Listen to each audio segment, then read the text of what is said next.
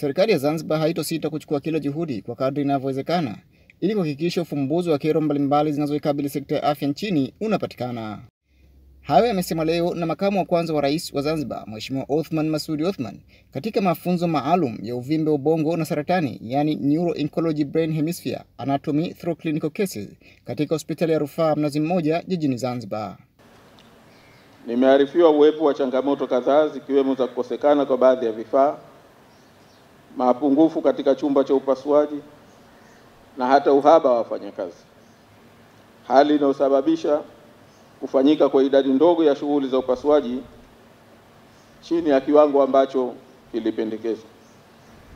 Changamoto tumezipokea na ninaahidi kwamba serikali haitosita kuchukua kila juhudi kwa kadri itakavyowezekana ili kuhakikisha kwamba ufumbuzi wake unapatikana. Katika hili lazima tukubali kwamba ni moja katika eneo ambalo Zanzibar itakuwa na comparative advantage, na kwa maana hiyo lazima tuchukue juhudi ya kuhakikisha kwamba we are sustaining that comparative advantage. Mheshimiwa Othman ameipongeza taasisi ya matatizo ya vichwa, migongo na mishipa ya fahamu Neli Institute na pia juhudi zinazochukuliwa na daktari bingwa kutoka nchini Spain Profesa Jose Piquer na uongozi mzima wa hospitali ya Mnazi Mmoja kwa kazi kubwa wanayotekeleza licha ya mazingira hayo magumu. Na hapa naomba Dr. uh, Profesa Jose Piquer, naomba kwa namna ya kipekee ni kupongeza. Please accept our profound gratitude on behalf of the people and government of Zanzibar for your contribution. Not only bringing knowledge and uh, expertise to Zanzibar, but bringing the world to Zanzibar.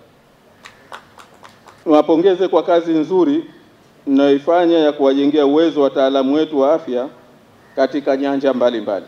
Naye waziri wa afya Mheshimiwa Nasor Ahmed Manzurui amewataka madaktari, wauguzi pamoja na washiriki wa mafunzo hayo kuwa wastahamilivu na kujitolea kwa moyo wao wote, wakielewa kuwa serikali inatambua juhudi na maslahi yao ambayo yatatekelezwa kikamilifu pindi hali ya uchumi wa nchi iliyoathiriwa na uviko 19 itakapotengemaa. Uchumi wa, wa, wa Tanzania wa dunia nzima wa Zanzibar umeshuka kutokana na COVID 19. Naombeni tustahamili, tufanye kazi kama mnafanya kazi kwa ungwana kabisa, na kwamba nyinyi wananchi, tujenge nchi yetu.